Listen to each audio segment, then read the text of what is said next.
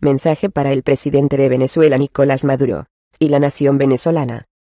Distinguido señor. Presidente de Venezuela Nicolás Maduro. Señor presidente. El motivo de mi carta es para hacerle llegar con urgencia un mensaje de parte del Señor. Estoy usando la Internet para que de algún medio este mensaje pueda llegar a usted. Este mensaje le será muy familiar, porque el Señor por su misericordia le ha enviado mensaje tras mensajes con diferentes siervos, pero usted no ha escuchado la voz de Dios. El Señor le dio palabra de bendecirlo siempre, en cuando usted dejara de consultar a los brujos, y dejara la idolatría, y se acerca a Dios. Pero usted no lo ha hecho.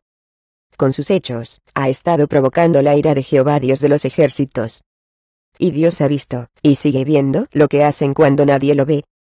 Buscando soluciones en la brujería, la santería y el espiritismo, y consultando los espíritus de muertos, la última abominación que han hecho es de consultar a los brujos, para a través de ellos hablar con el espíritu de Chávez.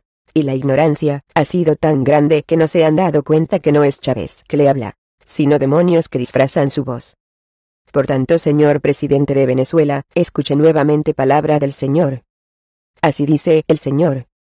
Usted, ha sido pesado en balanza, y fue encontrado falto, y que su reinado pronto terminara, y será pasado a otro porque al Dios en cuya mano está su vida nunca, lo ha sabido honrar de corazón. Con su labio dice, creo en Dios, pero su corazón está muy lejos de él. Todavía tiene tiempo de volverse al Dios de los cielos y él será misericordioso. Pero si no escucha la voz de los hombres y mujeres que Dios le está enviando a hablarle, pues el juicio se aproxima. Y aún su vida está en juego. Hay traición, traición que le puede costar su vida. Hay muerte en la olla, pero si vuelve a Dios, y lo busque de corazón, Dios puede revelar quienes lo traicionarán, y puede preservar su vida. Es una decisión suya. Lo que seguirá viniendo para Venezuela es grande, en la visión vi, que mucha gente seguía lanzada en la calle, veía sangre correr, veía desesperación y angustia.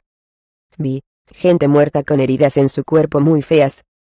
Fue como si el Señor me hubiese abierto mis ojos espirituales y vi que detrás de las personas que estaban en las calles haciendo huelgas y protestando había muchísimos demonios detrás de ellos. Y esos demonios eran los que insistaban a la gente a lanzarse a la calle.